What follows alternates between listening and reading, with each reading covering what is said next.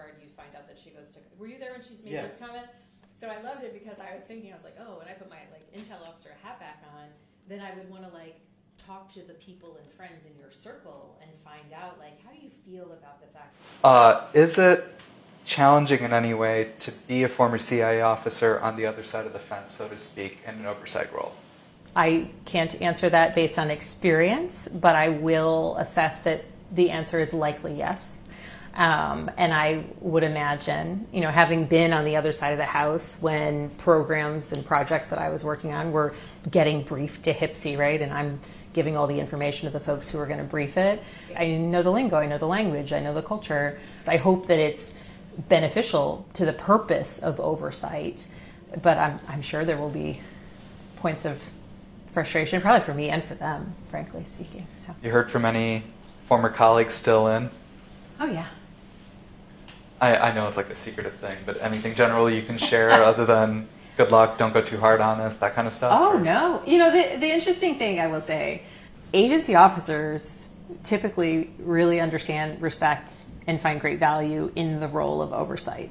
Some of my friends who are still there are excited that um, I'm going to be on the oversight side, and have have frankly uh, spoken very highly of the job that uh, former Congressman Hurd did because he did bring a level of understanding to the discussions, which um, I know many people inside the building really appreciated. Right now, you think about the weapon, weaponization subcommittee and all the stuff about deep state, and you're familiar with that.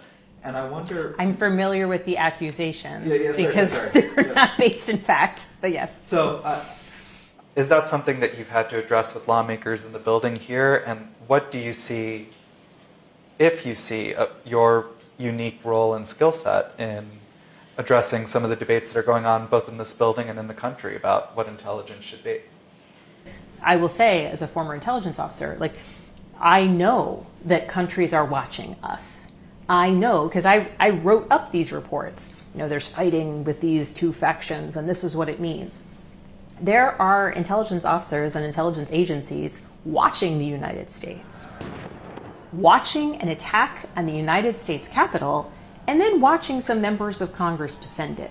The reality is that other countries perceive that, and they perceive it as a way that, in a way that is, it, it can't be good. And so I think that when we're talking about the individuals who raise their right hand and pledge to uphold the Constitution and defend our country from enemies, foreign and domestic, and then, you know, go overseas and work crazy hours and do extraordinary and strange and you know unusual things for the ability to send information back home like those people are doing incredible work for members of congress to wrap them up in partisan debates is is highly highly inappropriate Thank you so much. We promise to put your office back together. We will.